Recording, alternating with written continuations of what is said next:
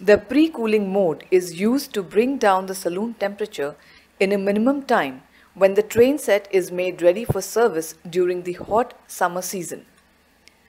The fresh air dampers are closed in pre-cool mode.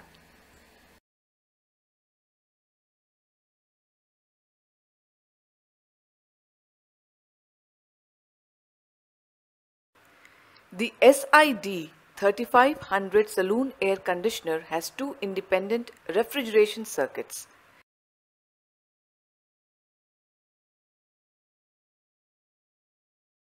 Each circuit comprises of a scroll compressor, a condenser coil, condenser fans, a thermal expansion valve,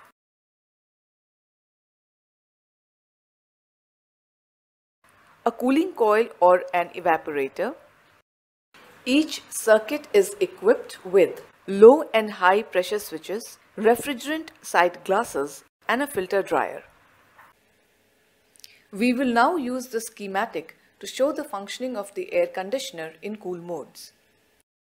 When the air conditioner is operating in cool 1 mode, only one of the two refrigeration systems is energized.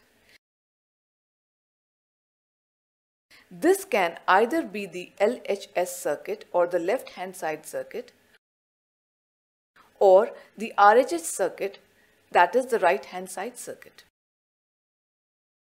In cool 1 mode, one of the two compressors is energized.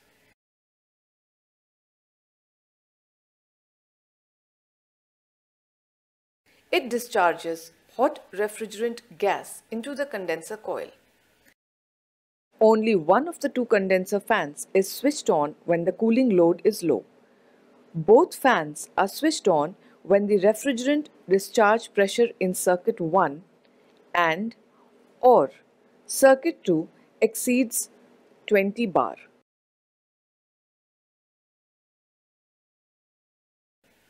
The condenser coil is cooled with the help of two condenser fans. The condenser fans are always switched on whenever the air conditioner operates in either cool 1 or cool 2 mode. This high pressure, high temperature liquid refrigerant leaves the condenser coils and passes through the expansion valve.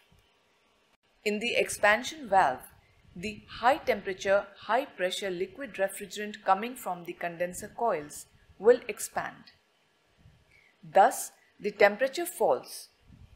This high pressure, high temperature liquid refrigerant will expand into low pressure, low temperature liquid refrigerant. Thus, here we get a mixture of very cold, low temperature liquid and vapor refrigerant coming out of the expansion valve.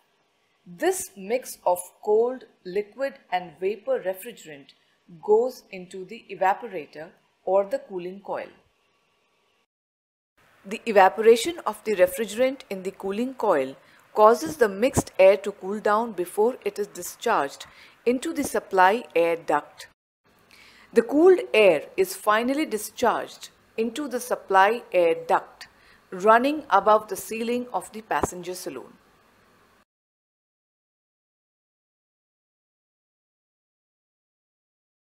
When the air conditioner operates in cool 2 mode, both the refrigeration circuits are energized together to provide maximum cooling power to the passengers.